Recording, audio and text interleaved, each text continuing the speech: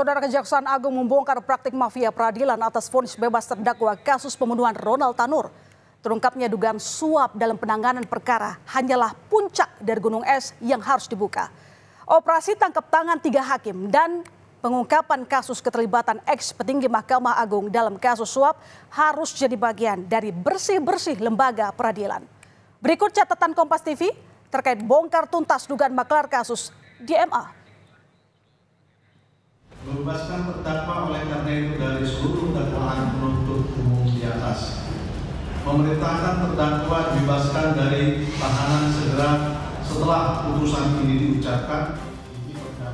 Ini adalah momen pembacaan vonis bebas Gregorius Ronald Tanur yang diberikan oleh Ketua Hakim Erin Tuah Damanik dan dua hakim anggota pada 24 Juli 2024. Vonis bebas diberikan Hakim Erin Tuah Damanik atas pertimbangan bahwa hakim hanya manusia biasa bisa benar, bisa salah.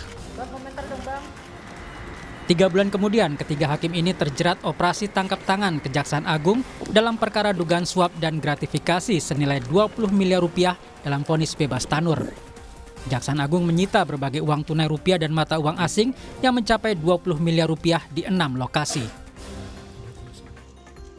Penangkapan tiga hakim PN Surabaya mengantarkan tim penyidik Kejaksaan Agung pada terduga maklar kasus di Mahkamah Agung, Zarof Rikar. Mantan pejabat MA itu ditetapkan sebagai tersangka usai menerima suap dari pengacara Ronald Tanur dalam penanganan kasus tingkat kasasi. Zarof diduga menerima uang suap sebesar 5 miliar rupiah dalam bentuk pecahan uang asing.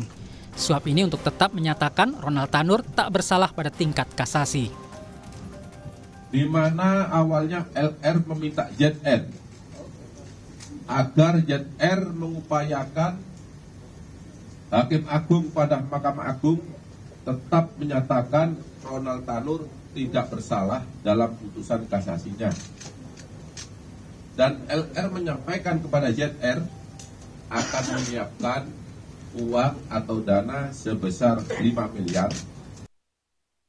Hakim Agung dan untuk ZR akan diberikan fee sebesar 1 miliar atas jasanya.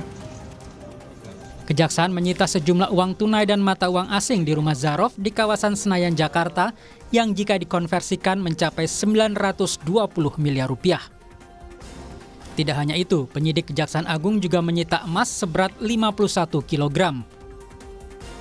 Menurut Kejaksaan Agung, semua barang bukti itu diperoleh Zarof dari pengurusan perkara di MA sejak 2012 hingga 2022. Nah, sesuai keterangan penyidik tadi, uh, ini sejak tahun 2012 ya, sampai 2022. Nah, cuma yang bersangkutan lupa bahwa uh, ini diperoleh dari pengurusan beberapa perkara. Tapi perkara-perkara yang mana nah ini sedang didalami juga oleh penyidik walaupun apa yang bersangkutan menyatakan lupa karena mungkin uh, terlalu banyak barangkali ya nanti kita Juru bicara Mahkamah Agung Hakim Yanto menyebut jika ada laporan suap di tingkat kasasi maka akan ditindaklanjuti. Majelis Hakim Mahkamah Agung diketahui menjatuhkan vonis 5 tahun penjara kepada Tanur yang membatalkan vonis bebas di tingkat Pengadilan Negeri Surabaya.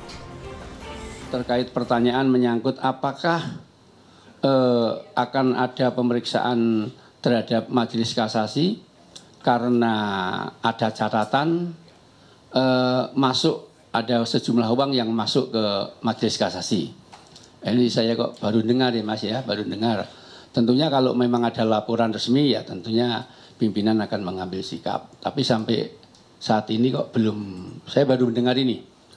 Baru mendengar ini ya nanti kita sampaikan ke pimpinan ya seperti itu. Usai tiga hakim tertangkap tangan dalam dugaan suap dan gratifikasi senilai 20 miliar rupiah, Pengadilan Negeri Surabaya dikirimi karangan bunga. Belum diketahui pengirim karangan bunga ini yang isinya menyindir kinerja hakim dan ucapan terima kasih ke Kejaksaan Agung. Tim Liputan Kompas TV.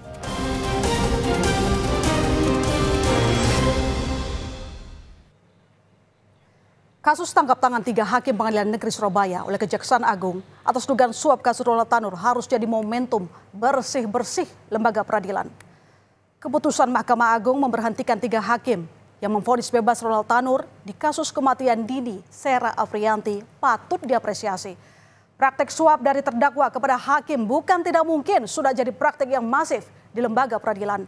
Hakim sebagai wakil Tuhan dalam setiap keputusan perkara hukum adalah faktor penting dalam menjaga marwah penegakan hukum. Sekuat apa pun penegak hukum menindak, tidak ada artinya jika benteng para hakim pemutus perkara bobol oleh suap Pengadilan yang seharusnya menjadi rumah bagi para pencari keadilan berubah menjadi rumah yang mengerikan. Keputusan hakim bisa diperjualbelikan adalah kenistaan yang memalukan dan harus menjadi perhatian serius Mahkamah Agung. Muara dari penegakan hukum ada lembaga peradilan yang bersih, berwibawa, dan terbuka bagi harapan semua lapisan masyarakat pencari keadilan. Oleh karena itu, mental dan perilaku hakim adalah faktor utama dalam menjaga wibawa penegakan hukum yang adil.